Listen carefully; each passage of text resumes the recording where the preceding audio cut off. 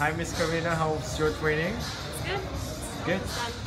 Very good. So, how, why do you love TribeFit? Why do you love working out in TribeFit? Um, I like the atmosphere. That was the first thing I liked when I came to, to check out the club. And Alright.